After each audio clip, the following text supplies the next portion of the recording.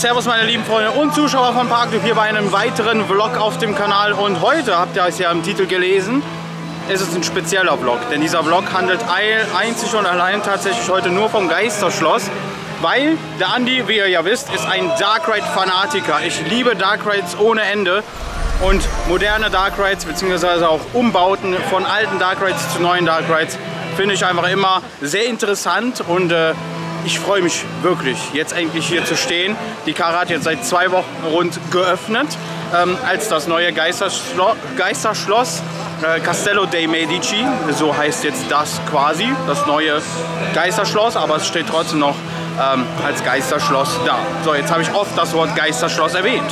Das heißt, wir gehen jetzt rein. Wir werden heute wirklich alles ins kleinste Detail mitnehmen. Die ganze Fahrt bzw. auch die Q-Line werde ich euch präsentieren.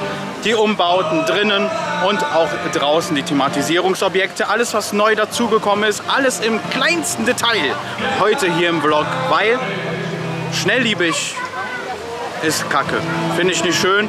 Und deswegen, ich zeige alles bis ins kleinste Detail. Ich hoffe, du hast auch Spaß dabei und begleite mich jetzt hier ins neu gestaltete Geisterschloss.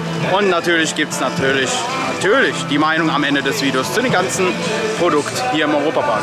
Nicht wundern, ich bin gerade so mega krass am Schwitzen, weil es ist 35 Grad im Schatten. Es ist wieder typisches Europapark-Wetter. Mega nice. Also jetzt, Freunde, meine erste Runde mit dem neu gestalteten Geisterschloss hier im Europapark. Let's go! Jetzt stehen wir quasi vor dem Eingang des Geisterschlosses und was man schon feststellen können, ist tatsächlich, dass die Schrift Geisterschloss neu eingefügt wurde. Dann haben wir auch noch hier einen lustigen, ja ich sag mal einen lustigen Drachen, der das Schild hängt, Castello dei Medici und eine sehr schön gestaltete Uhr im Hintergrund, die auch tatsächlich die aktuelle Uhrzeit anzeigt. Finde ich sehr nice. Aber lass uns nochmal hier das Schild begutachten hier vom Drachen. Den hält er nämlich mit dem Schwanz fest. Sieht sehr cool aus. ja, auf jeden Fall, der Eingangsbereich ist ja, ähnlich, ist halt alles gleich geblieben, bis auf ein paar kleine Updates, die ich euch hier präsentiere. Auch das ja, Schild mit den Hinweisen ist neu gestaltet, sehr schön von außen. Oh, Freunde, das ist es. Worauf ich gehofft habe und tatsächlich jetzt auch wahrscheinlich in die Tat umgesetzt wurde. Ich freue mich. Und natürlich ist auch unser alter Bekannter immer noch da. Finde ich mega nice, weil ich glaube, das Geheule wäre groß gewesen, hätte man ihn nicht mehr dabei gehabt. Aber tatsächlich ist er noch da mit seinem Raben. Sehr schön. Und ja, ich würde sagen, wir starten das Abenteuer mit dem neuen gestalteten Geisterschloss im Europapark.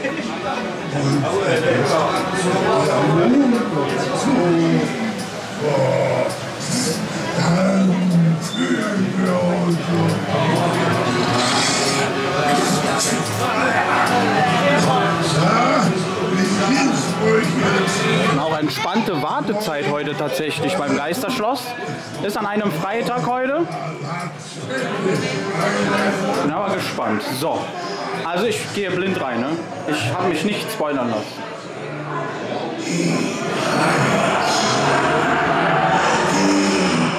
Haben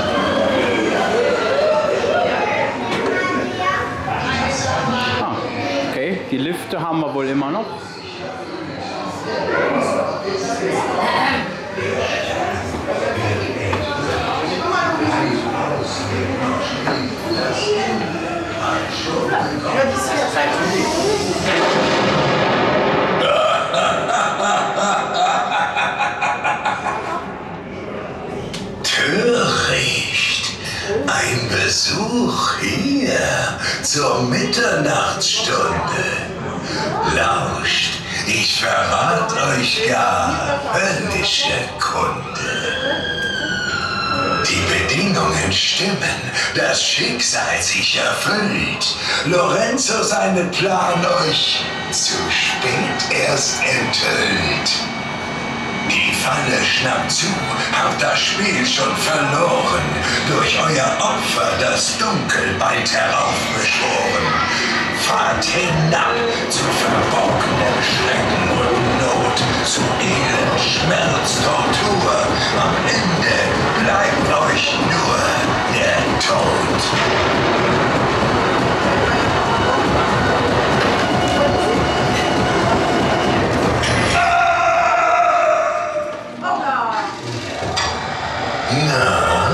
wieso denn plötzlich so schüchtern?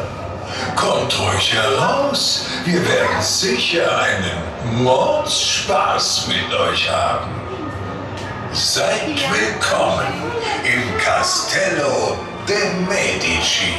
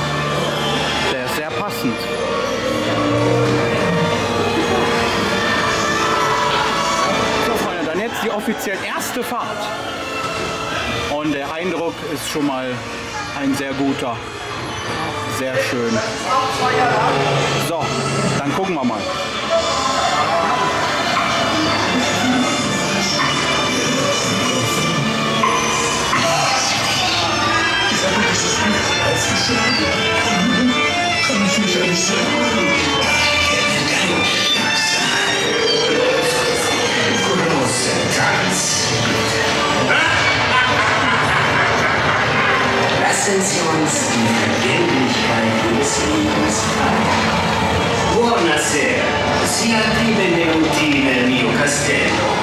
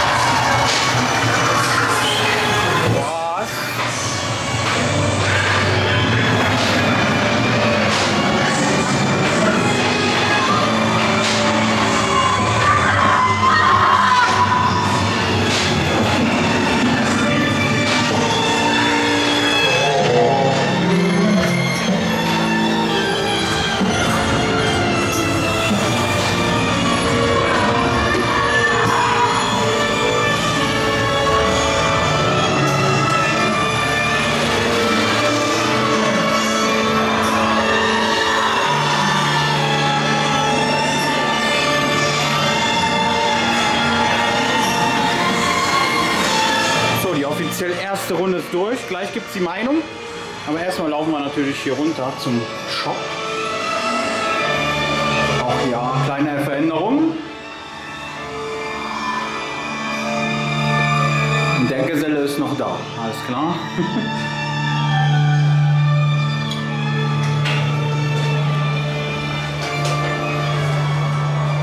ja, okay. Shop in dem Sinne ist auch noch geblieben.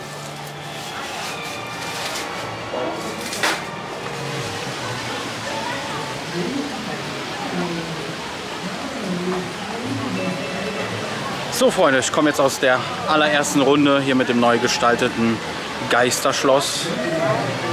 Ich bin echt mega krass positiv überrascht. Also wirklich, es ist sehr gut gelungen. Ich habe mir schon viele Meinungen eingeholt.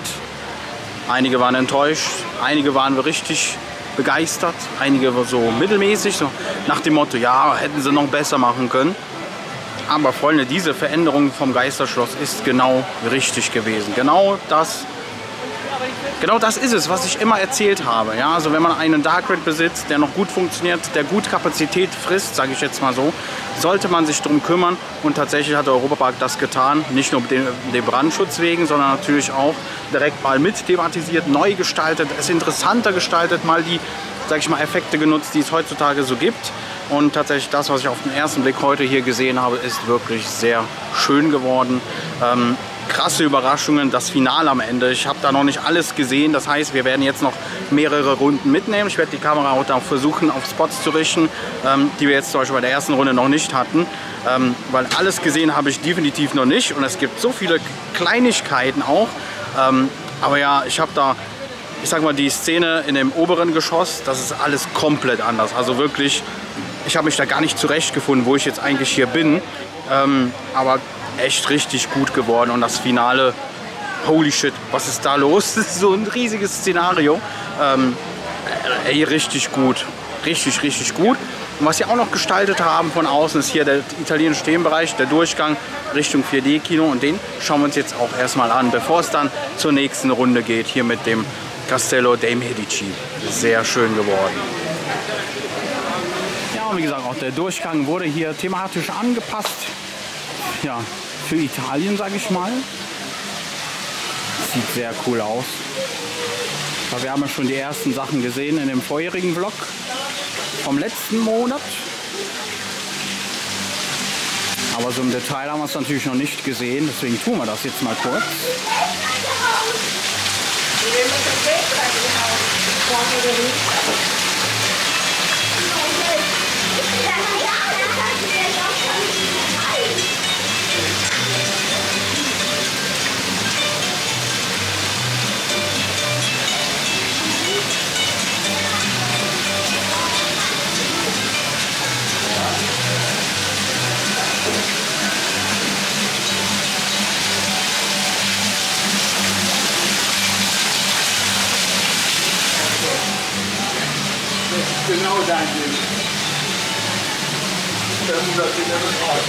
Der sagt,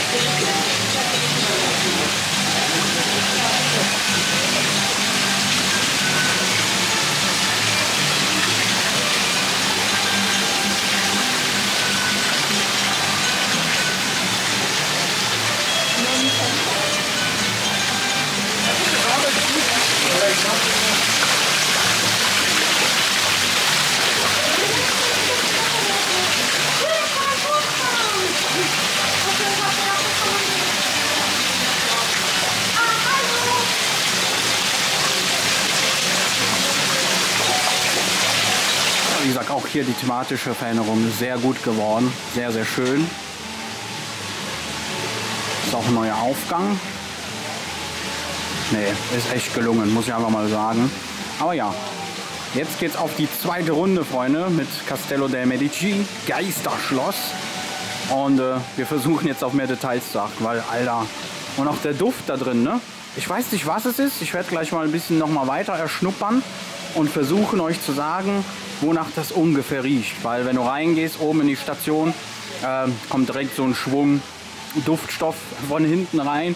Ähm, aber ja, das passt tatsächlich, das passt. so ein bisschen Weihrauch. Ich weiß es nicht, also so, so in die Richtung. Aber ich muss, ich muss noch mal reingehen und erschnüffeln. Ich, äh, ich gebe mir Mühe. Den Riechkolben packe ich mal aus und dann gucken wir mal.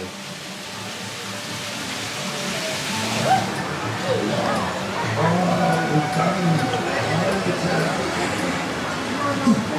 my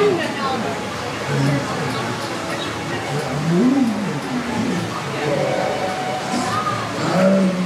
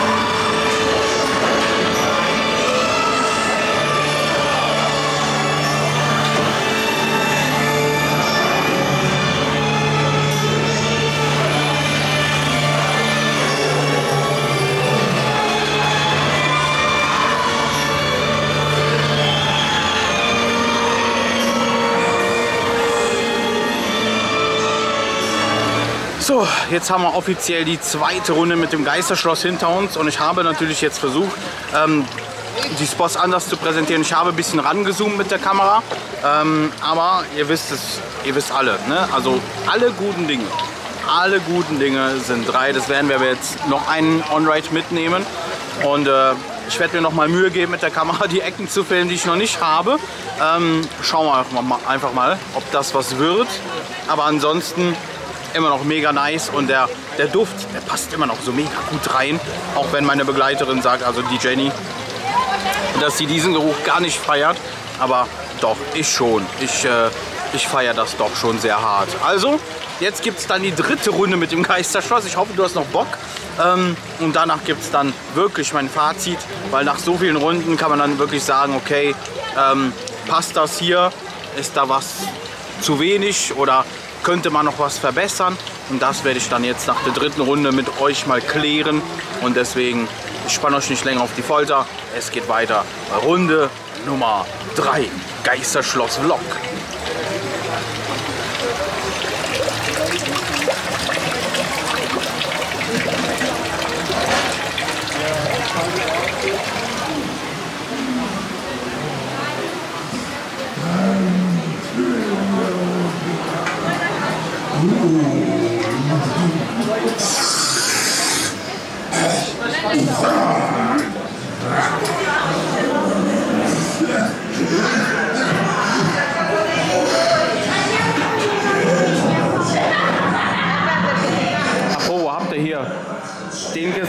Erkannt? Ich hoffe ja, ne?